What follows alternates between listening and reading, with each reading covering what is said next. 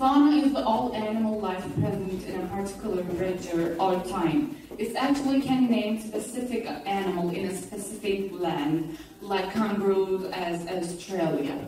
Zoologists and paleontologists use fauna to refer to a typical collection of animals found in a specific time or place.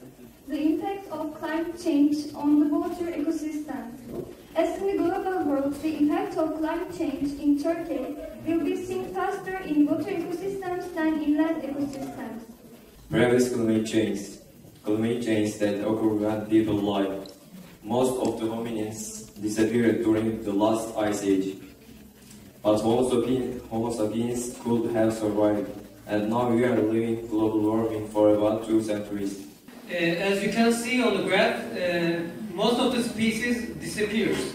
Uh, it may be the breakpoint for us to that climate change. Uh, graph of the carbon dioxide ga- gas we have released into the nature by the years.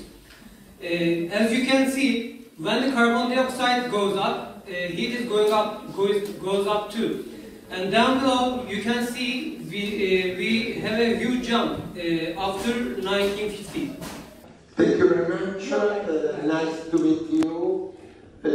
An honor for me to take this lecture in this important institution in Palermo relating the animals protection.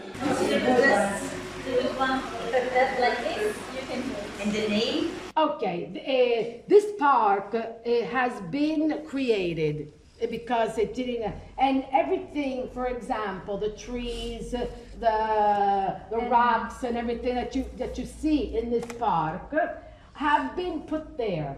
The the wolf naturally is not a Sicilian wolf because we don't have any more. It's Italian, but it's not uh, it's not Sicilian. He's not Sicilian.